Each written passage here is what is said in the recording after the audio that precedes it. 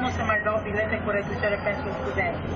Studenții au avut parte de o surpriză neplăcută la casele de bilete din gări. Au fost nevoiți să cumpere bilete la preț întreg.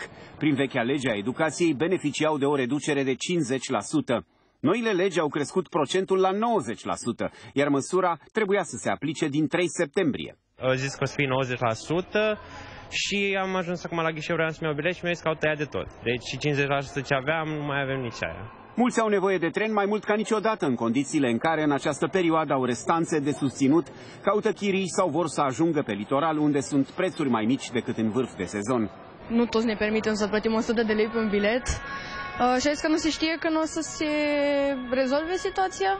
Pentru mulți uh, care fac naveta cu trenul destul de des, mă gândesc că e foarte costisitor unele companii feroviare, dar și Metrorex, reclamă că pentru moment nu mai pot acorda studenților bilete la preț redus, pe motiv că nu sunt gata normele de aplicare a noilor legi ale educației. Patru companii feroviare, printre care și operatorul de stat, CFR Călători, au anunțat că nu mai acordă studenților reduceri la achiziția biletelor de tren. În schimb, o companie feroviară privată acordă în continuare reducerea de 50% în baza vechii legi a educației, iar o alta reducerea de 90% în baza noilor legi ale educației. Compania feroviară privată care anunțase că menține reducerea de 50% a revenit asupra deciziei și vrea să acorde prețuri mai mici cu 90%. Reprezentanții autorității pentru reformă feroviară consideră însă că toți operatorii trebuie să aplice această reducere lor trebuie să li se acorde reducerea stipulată pe lege. Nu este o scuză faptul că nu avem uh, normele în uh, vigoare.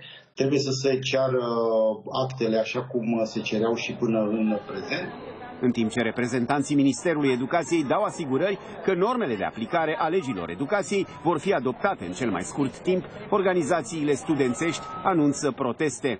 Categoric, 100% la începerea anului universitar, documentul va fi publicat în monitorul oficial. Noi ne dorim, repet, să fie publicat până la sfârșitul săptămânii viitoare. Important este să fie adoptată cât mai rapid, dar vom pune presiune în continuare pe operatorii feroviari, iar studenții sunt mai mult ca sigur deschiși să facă acest lucru, chiar și prin a merge în uh, gări și la sediile operatorilor. Elevii și liceenii beneficiază în continuare de transport gratuit din partea companiilor feroviare.